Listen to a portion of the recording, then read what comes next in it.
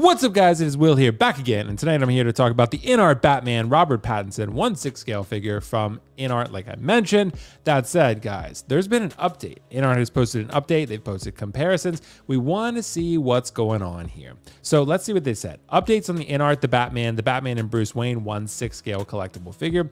After the last release, InArt has made some minor changes to the figures based on the original film and photographs of the actor from multiple angles.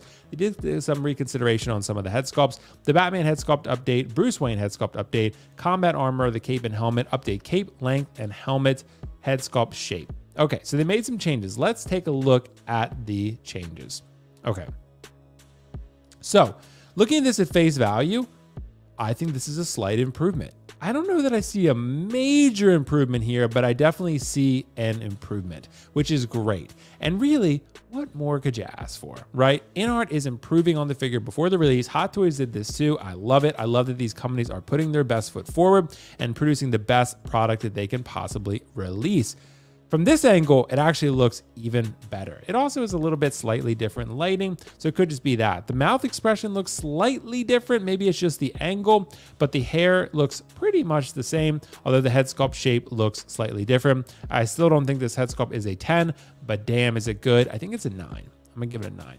The Bruce Wayne looks much better. I really think this looks like a nice update here, and you can see a slightly different expression on this Bruce Wayne figure. Maybe it's just be that it could just be the different eyes. They position them slightly differently for this, but from this angle, it looks a lot better. I think in hand, this is gonna look really, really nice.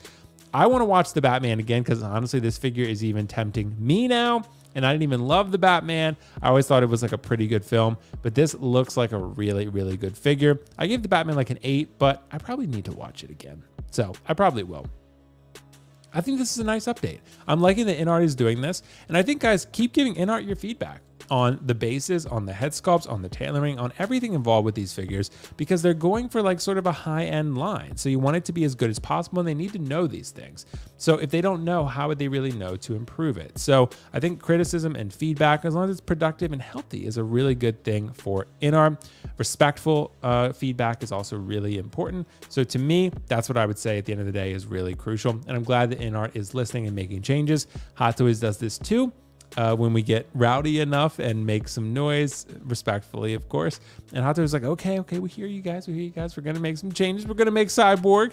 So yeah, there's a lot of there's a lot of good feedback out there that really leads to productive things, like making a great figure like Cyborg. So that said, really like this update for InArt. The Batman's hair looks a little bit better. The head sculpt looks a little bit better. Could just be the styling, but overall, this is a good update. I want to hear what you guys think in the comments below.